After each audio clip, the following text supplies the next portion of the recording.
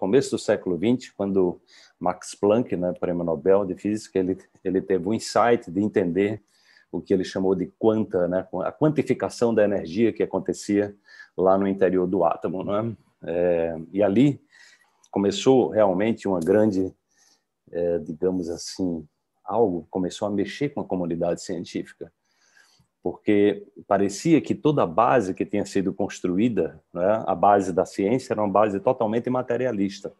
Ela era baseada na matéria. As leis de Newton são baseadas força, a, a, a lei da gravitação universal. Ela é baseada exatamente que matéria atrai matéria na proporção direta das massas e inversamente proporcional ao quadrado da distância, ou seja, essa força, essa atração é, diminui com o quadrado da distância, né? ou seja, quando vai ficando muito distante, a força gravitacional vai ficando pequena, mais rapidamente. Né? Mas se as massas são muito grandes, né? porque ela é, tem a ver com o produto das massas, essa, essa, essa força pode ser descomunal.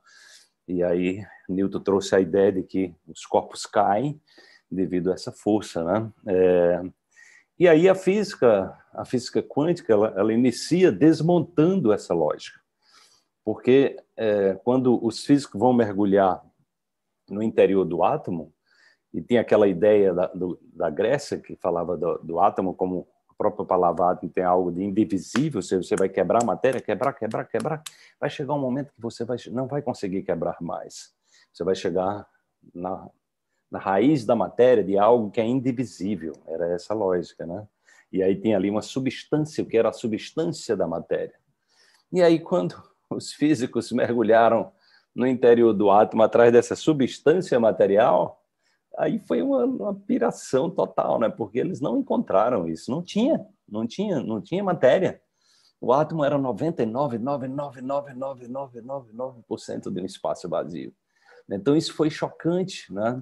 E o comportamento é, das partículas que viviam ali no interior do átomo, inicialmente descobriram as três principais, né, que eram os prótons, os nêutrons e os elétrons, eles tinham um comportamento muito estranho. O elétron não era uma, uma partícula que você podia encontrar ela num lugar preciso, ela, ela existia dentro de campos de probabilidades.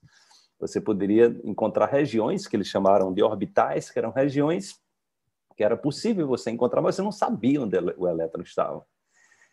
É, e aquele vazio aparente, na verdade, ele tinha, ele tinha uma característica muito especial, porque o Max Planck mostrou que existia, né, que na verdade nós vivíamos num universo onde tudo era energia, e a energia que pulsava, né, que vibrava ali no interior do átomo, ela, ela dependia de uma grandeza chamada de frequência. Frequência é exatamente a, a velocidade de, de vibração, né? por exemplo, né? É, quando eu pego o meu violão e, e, faço isso aqui, ó, eu estou aqui na corda Mi, né?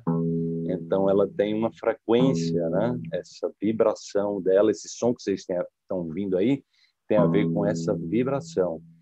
Aqui a, a nota Lá, né? né?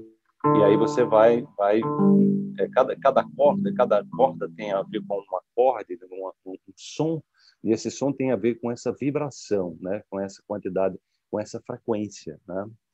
É, e hoje sabe-se que tudo na natureza tem uma frequência específica, é, ou seja, tudo na natureza tem uma música específica. Porque quando a gente fala de frequência, a gente pode fazer essa analogia com a música. Né?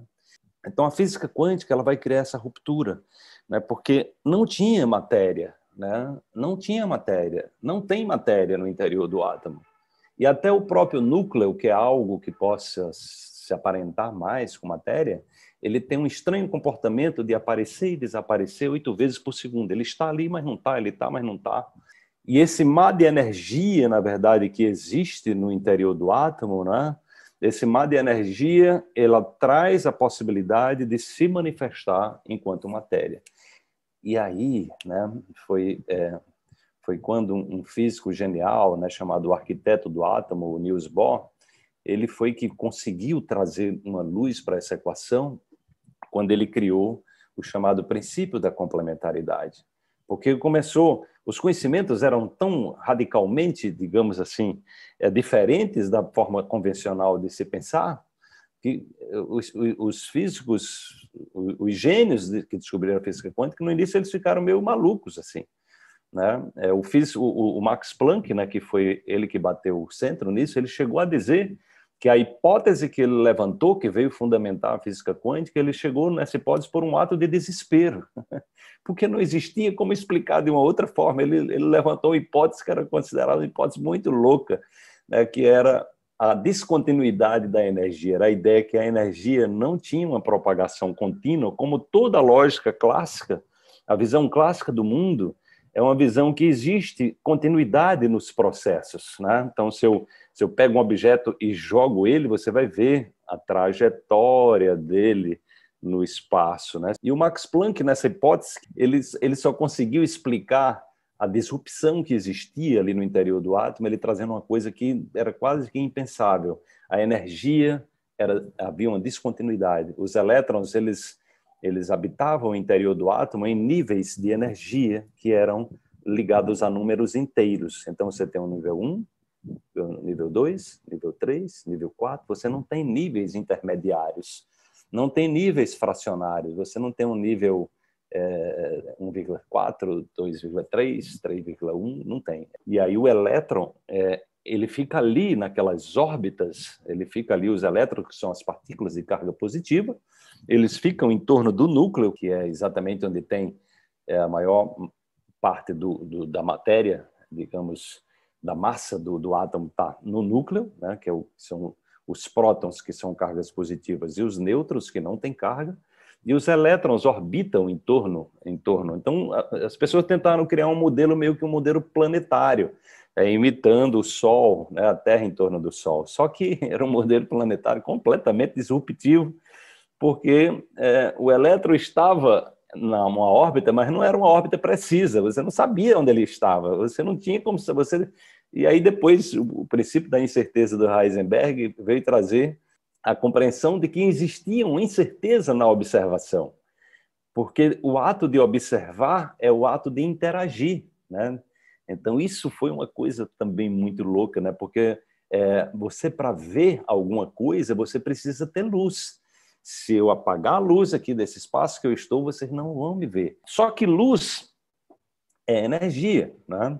E, e, a luz ela tem um comportamento ondulatório, ela, ela, ela, ela é uma onda eletromagnética, né? ela se propaga no espaço por uma velocidade espantosa de 300 mil quilômetros por segundo. Em um segundo ela viaja 300 mil quilômetros. Só que esse conhecimento de que a luz era uma onda eletromagnética era um conhecimento que vinha do século XVIII.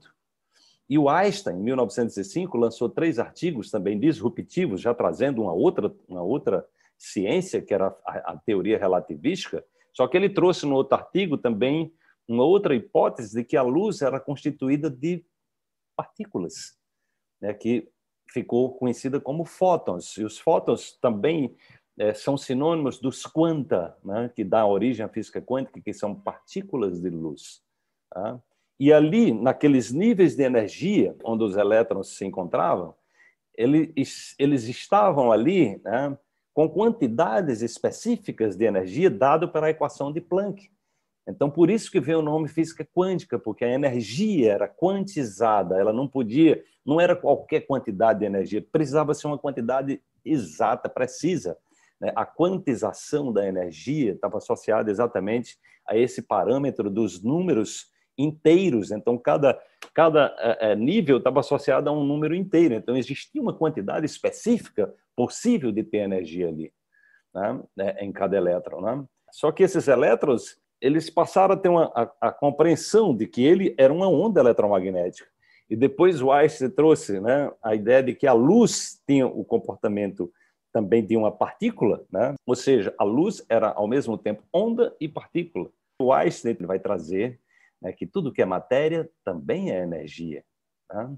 E aí onde vai a gente vai começar a, a, fechar a equação. E aí você tem essa percepção, né? Porque aí um outro físico, um lord francês chamado Louis de Broglie, ele vai dizer, olha, se a luz tem o comportamento de ser partícula, ou seja, de ser matéria e energia, E tudo que é matéria é energia, o universo inteiro tem esse comportamento dual, ou seja, o universo é uma grande onda de possibilidades. Né? E aí o, o, mundo científico pirou com isso, né? porque disse, mas como é que uma coisa pode ser duas coisas ao mesmo tempo? E afinal de contas, o que é que está certo? É onda ou é partícula? E foi aí quando Niels Bohr criou o famoso princípio da complementaridade, onde ele vai trazer o papel do observador.